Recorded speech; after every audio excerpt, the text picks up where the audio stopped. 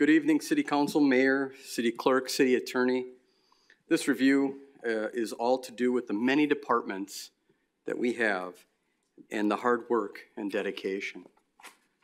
Next.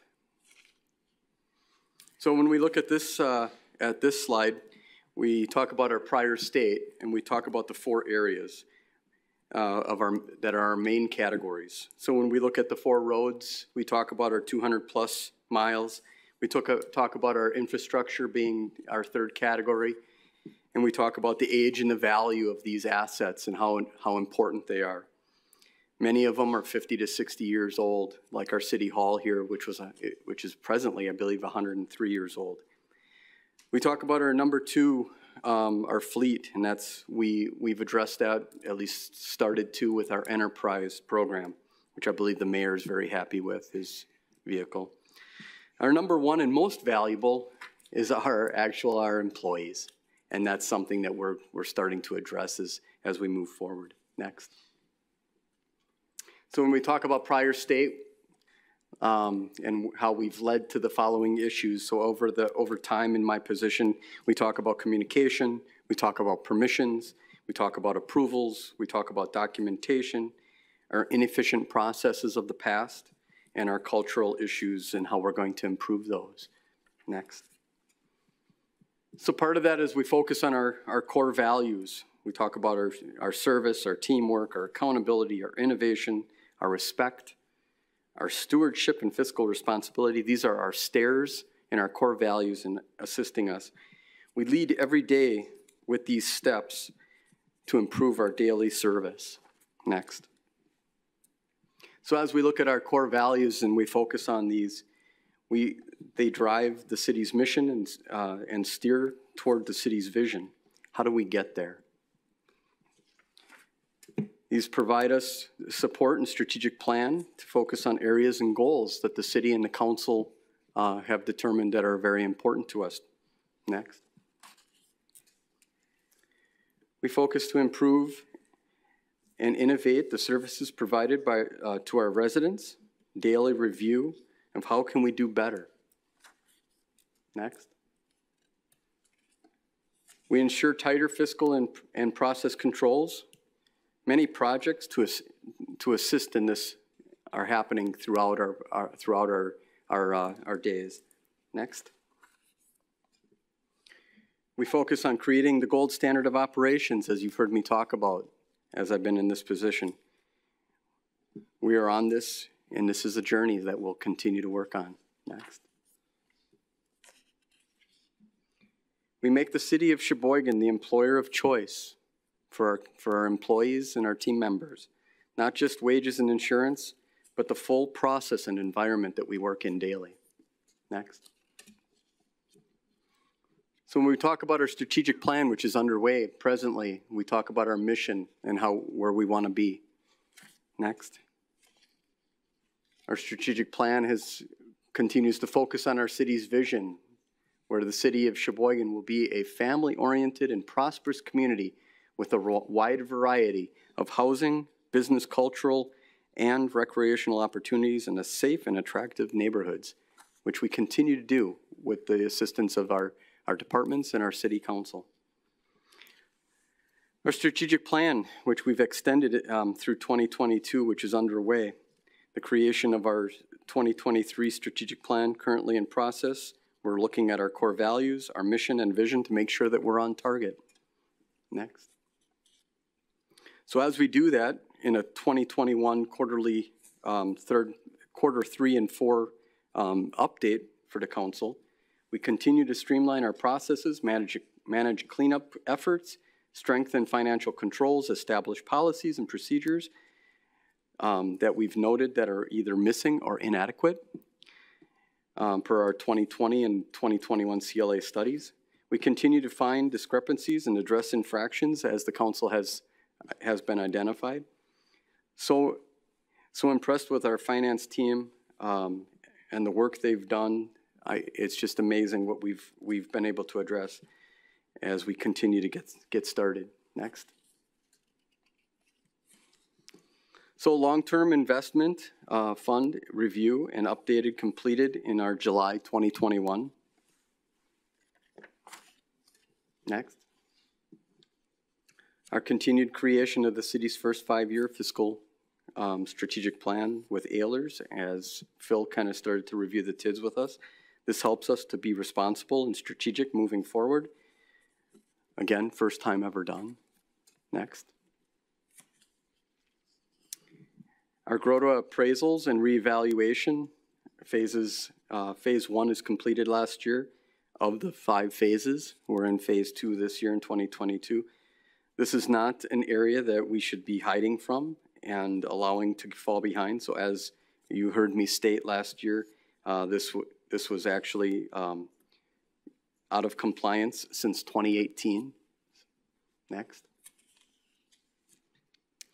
Actively managing accounts receivables, notably delinquent personal property uh, tax penalty payments in 2021. Uh, $4,000.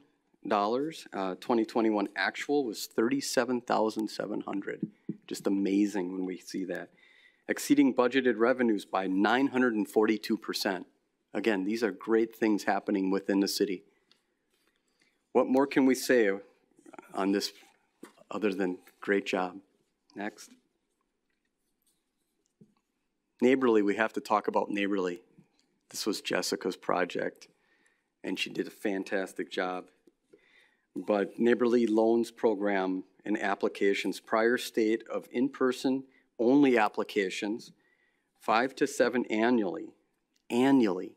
Again, this is to help our, our, our constituents as a last, last line of support. Since July 2021, online applications 40 to 50 annually, 714% increase. It is so unbelievable that we are able to help our constituents day in and day out with their needs, 714%. This was a huge undertaking on top of the daily responsibilities, decades of problems cleaned up. As you can see, our service is now up 714%. Great job. Next one, employee life insurance re reconciliation and retiree in health insurance audit completed. First comprehensive reviews ever in the city's history. 12 in, inel, uh, ineligible, excuse me, participants removed from the plan.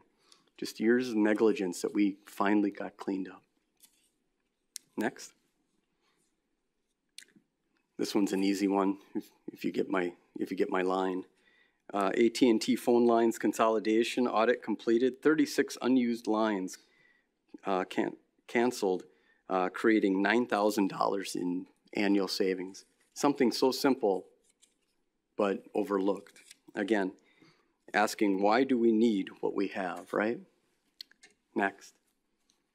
So continued improvements in 2021 in our quarters three and four. So we talk about our um, Munis chart of accounts con uh, conversion. Next.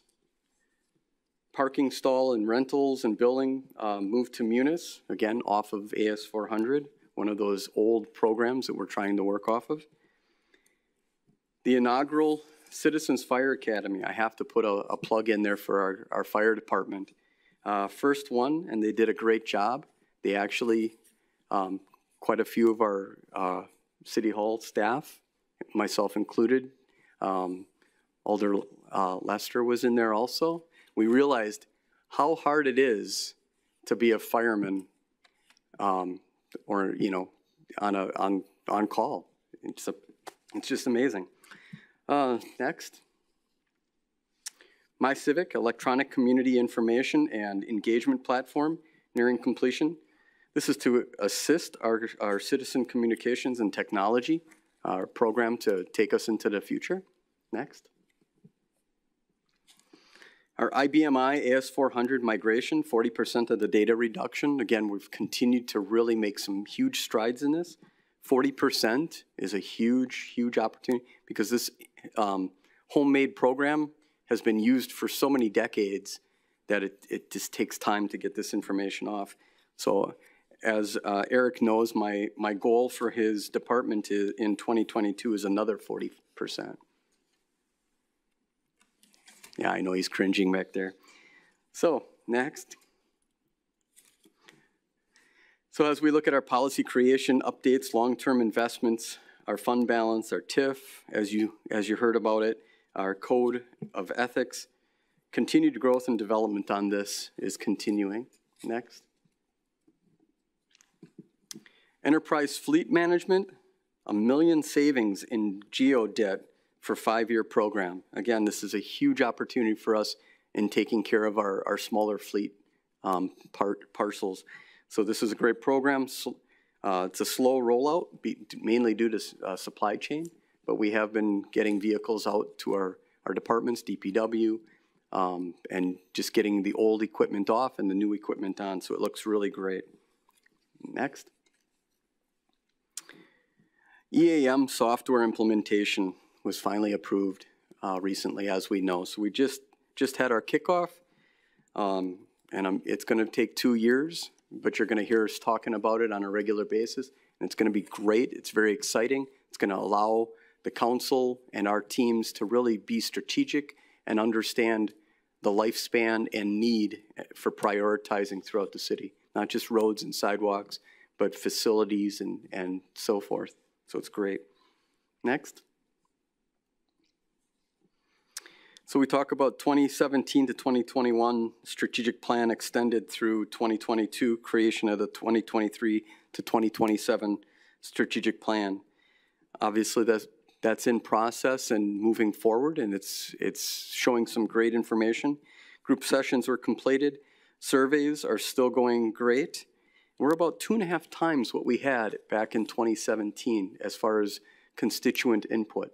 That's huge, two and a half times the amount of feedback. Now, it's a, it's a start. Hopefully, it'll continue to keep rolling. Next. Ambulance rates, uh, first update in 13 years. Again, these are things that we just don't tend to look at or haven't looked at. And again, they're all mandated, so it's bumping things up to where they should be. So the new rates and new uh, collections uh, group is working with us, so that'll help us with our um, the revenues in that area. Next. Munis code enforcement and permitting initiation, better processes and better controls so that we can help our constituents to make sure that we have the community and neighborhoods that we want. Next. Investments in employees, 2021, uh, quarters three and four. We'll talk about that a little bit. So Carlson Dettmann review as I'm sure all of the council members and, and department heads are very concerned. Where are we with that, Todd? So we're finishing this up, very detailed and in-depth, and we're continuing to have to really do the deeper dive because we're not looking at just other municipalities, but we're also looking at our neighbors on different jobs that are actually uh, comparable to what we what we do within our city. But a lot of our jobs are actually very refined and very detailed, and it's not like you can just go and take somebody from Sargento or take somebody from uh, Kohler. It's, it's actually, you have to take somebody from another municipality. So it's very difficult. We also have to realize that the city is a city, so that means that you can't just go to a village or to a township and say that they have the same positions. You literally have to look at somebody that's going to have to relocate to, to fill some of these positions. We also realize that a lot of our positions are actually exactly on scale of where they should be. So that's a great opportunity for us to help us understand where we are. Next. Biometric screen, um, health screening uh, reinstated. It was paused back in 2019. We care to help our team um, help themselves. Biometrics helps us understand possible opportunities for each of us to understand when we take this. Next. Initiated mandatory employment practices, liability training sessions for all staff. Again, training helps us help ourselves and others as we continue to be the employer of choice. Next. Increased training and professional development in 2022 budget, we increased it by $40,000. Again, we were kind of stepped back a little bit back in 2020 because of COVID but we really need to make sure that we give our employees and our team members the time and the, the ability to get the training that they need to help take us to that next, that next level. So training helps, helps us help each other raise the bar as we move forward. Next. Wellness Committee uh, revamped. rebranded, renamed, however we want to look at that.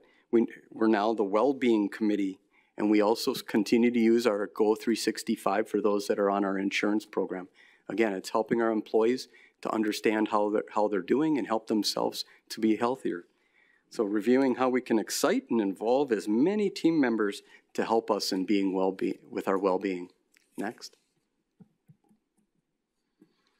All right, HSA contribution for 2022, that was included in uh, this year's budget.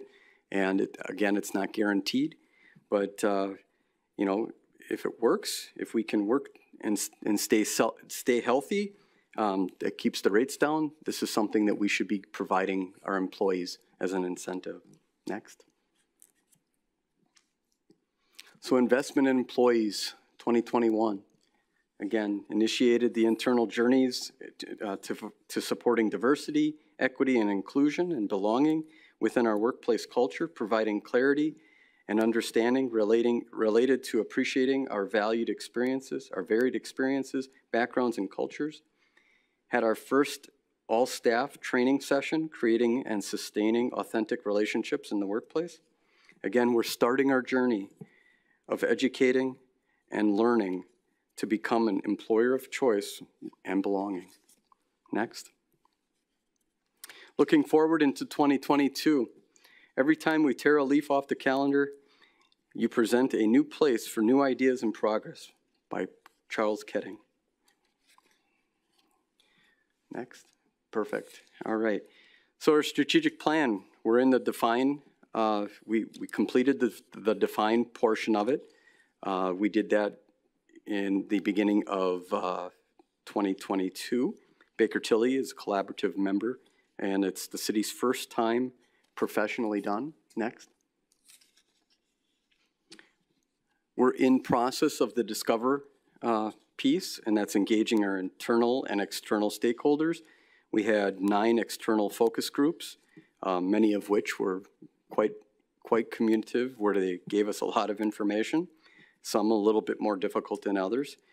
Then we'll be creating our SWOT analysis, strengths, weaknesses, opportunities, and threats. Next. From there, we'll develop um, and review our mission and vision and core values, making sure that they're in, um, representative of what we, what information we've, we pull together from our constituents and uh, from our, our department heads. So we'll review that, identify and prioritize strategic goals, create a strategy map, prepare de- uh, deployment uh, um, to move out. Next. The deploy, uh, that's basically where we develop and change management program, assign accountabilities, completion milestones, and we'll work with our department heads to make sure that we can develop key performance uh, indicators and targets. We'll be, we'll make sure that we can measure it, monitor it, and report it, and make sure that we make adjustments accordingly, or as I call it, course corrections as we go. Next. Looking forward to 2022, I'm sure you're all excited about what's coming. So the new year, new strategies. Continuous improvement is better than delayed perfection by Mark Twain. So as we look at our in- um, investments in employees in 2022, we're continuing our internal journey supporting diversity, equity, and inclusion and belonging. Again, we're building our, pl- our plan and program, and we'll talk about that um, when we have our HR presentation in the future. Learning skills to support critical conversations and civility, creating syn- synergies, and sharing resources with community partners. Again, we're working with our community to help us become better together. Moving forward, Munis uh, Human Capital Management Module expansion, majority, the majority of it has been unused, untouched, untapped for 15 years. It's just unbelievable when you think about the modules that we have that we haven't used. Next. We talk about Munis Project Ledger and Capital Assets Module implementation, owned for 15 years and not used. Again, Caitlin um, basically is working on this as many, with, again, with many other projects in her team. This is going to allow us to have compliance with state and federal reporting. Again, instead of having to pull things from different areas, um, we're actually going to be able to upload it in one report, complete and accurate. Next. Munis General Ledger Fund, consolidation redesign. Again, this was Caitlin's uh, huge project that she has with her team going on as we speak. Um, So this is going to be, it's going to go from a a 1,081 cost centers down to 60. Just think about that. If you had to go through 181, now we're only going to have 60 categories. Then you look at 6,143 accounts reduced to 557. Again, it's just unbelievable how complicated we were and how disjointed we are and how clean it's going to be and how easy. It's a huge redesign. It's still in process. Uh, the team members are reviewing to make sure that all of the consolidation is working. It's being worked on in our training environment, and it's going to be rolled out very soon. Next. Munis upgrade uh, to version uh, 21, uh, 2021, technically point three now. I heard about that this morning. Uh, second upgrade in one year, keeping ERP uh, system and technology up to date. This is tremendous information because it affects everybody. And just the understanding that we're now updating things on a regular basis is just huge. And when you think about it, how often does it happen at home or on your phone? Now we're actually doing it here at the city. And it's going to continue to happen and get better. So again, starting to plan our regularly scheduled updates for our teams. Next. Munis payroll module and process enhancement, proper use of workflows and approvals. Again, this is also, this is also more connected to the HR uh, side of it and to our employees. Again, this is how we, we need to start using our, our modules that we have out there. Next.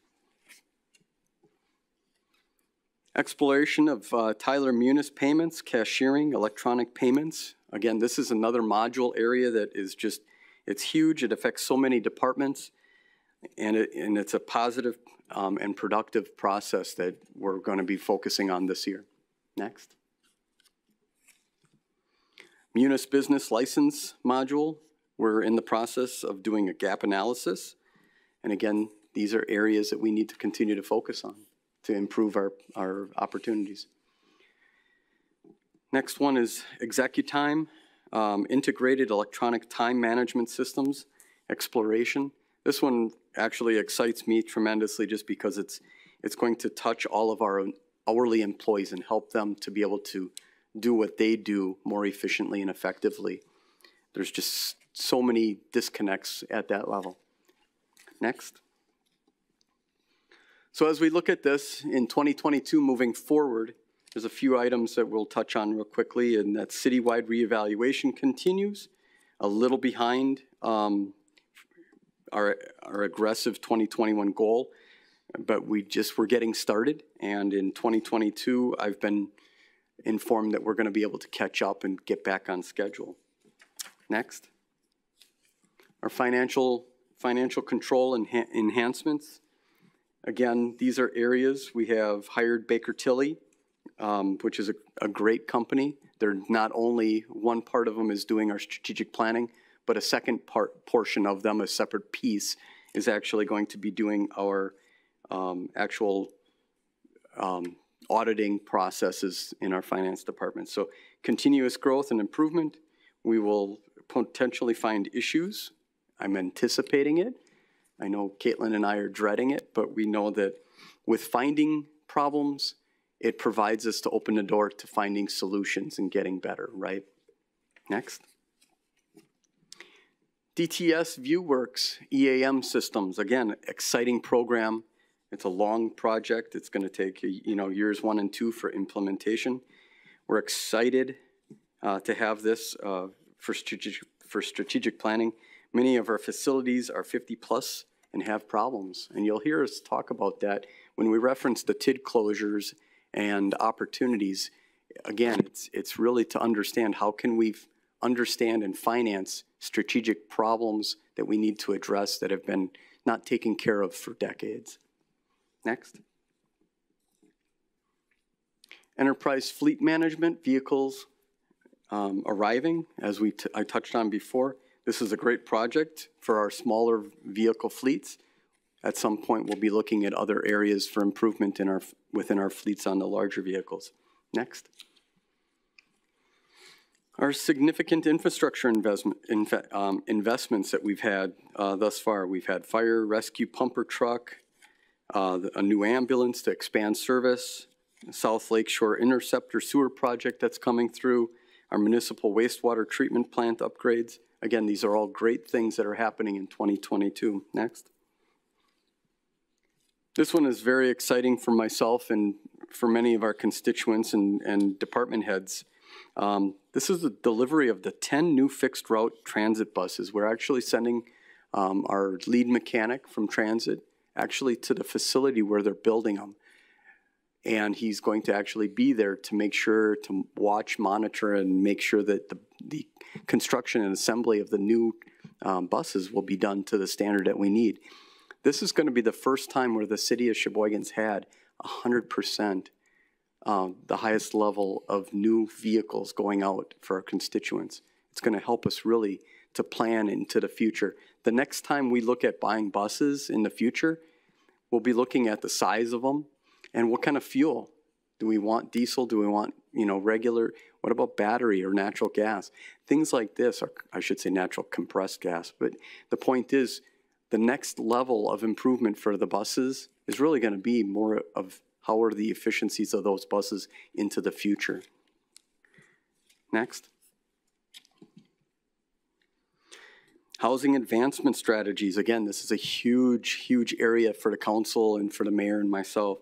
You know, uh, creative, creative advancements in housing uh, study, the senior housing options and opportunities that we're looking to bring to, to the city. Single-family housing development, as we all know, we're working diligently on that. And multifamily veterans housing, which is coming through, as we know. Again, the success of great business businesses is relying on this. We need to we need more housing so that we can have more great uh, constituents move and enjoy the, the gem of Sheboygan. Next.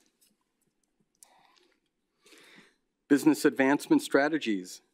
Again, continued attention and adjustments as we work with our, our plan, our ARPA plan, but also with the grants that come in, making sure that we're, we're flexible enough to, to expand on all of that opportunity. Next. 2022 lean principles. As you, as you all know, I'm very, very huge on the, on the fact of continuous improvement. And we had quite a few more team members. We had nine more team members uh, join us in this uh, great opportunity. And if we do the same things and we expect different um, outcomes, this is the definition of insanity, right? So what we really want to do is look at everything we do daily. How are we doing it? Why are we doing it? There's so many things that we've we've done in the past because we've always done it. Does it add value?